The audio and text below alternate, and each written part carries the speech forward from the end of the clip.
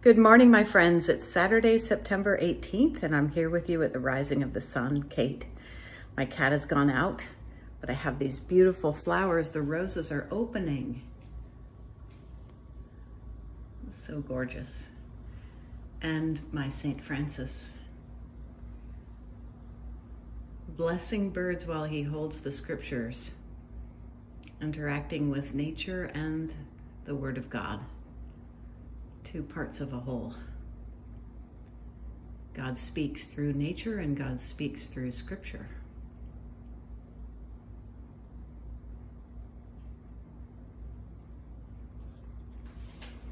We continue in the second book of Kings with one of the most beautiful stories in the Bible.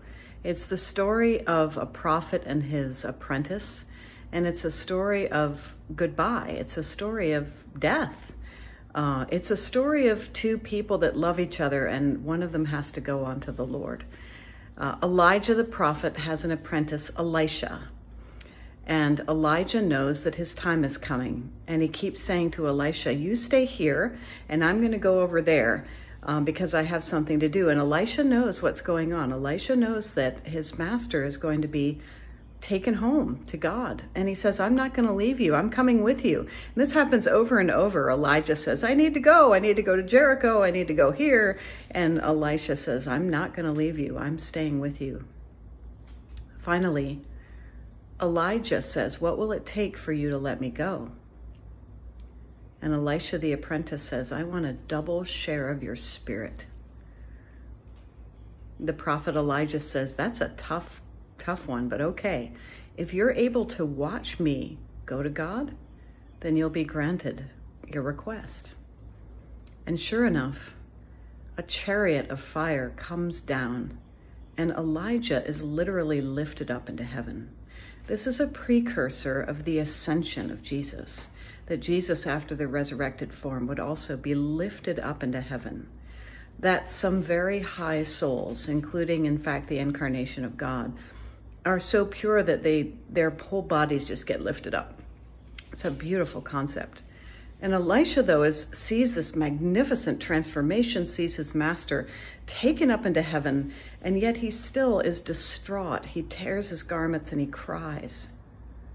But then he takes Elijah's mantle and he uses it to part the waters of the Jordan, just like Elijah did. And you know that he is the new prophet, that he has within him the one that he loved.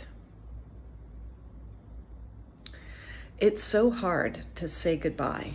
It's so hard to let someone die. And over and over again, I see people who cling to their loved ones and are too attached and cause them pain in the dying process. Uh, you can actually prolong dying by not letting your loved one go, by saying to them, please don't leave me.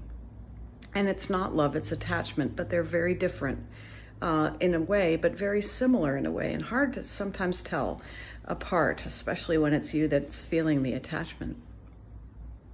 Just a few days ago, I buried a beautiful woman who had early onset dementia, and her wife was able to let her go.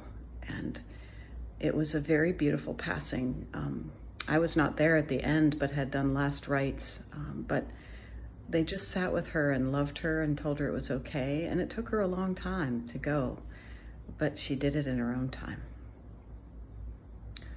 Elisha didn't want to let Elijah go, but when he did, he was given the spirit of his master twice, twofold. When you let someone you love die, their spirit is within you. They bless you, they stay with you. It's a mystery but I truly believe their influence increases. So let us learn that painful lesson, the difference between love and attachment. And when it's time to let our loved ones go, give us the courage and strength to love them enough to do that. Let us pray. Almighty God, we thank you for this beautiful day in this troubled world where so many are still dying from COVID, many of whom could have prevented their illness by being vaccinated. We ask you to give us strength and courage in this time. tenacity and forbearance as we continue to battle this virus. Help us to convince those to trust in medicine, for it is a gift from you. We ask you, Lord, to bless this whole world. Give us an awareness of your presence, an ability to appreciate one another, to respect our differences, and to learn to live together, respecting and honoring this planet. Guide us today in all that we do.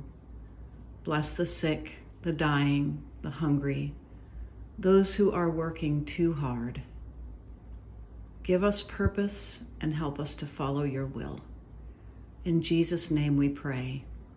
Amen. God bless you. Have a great day.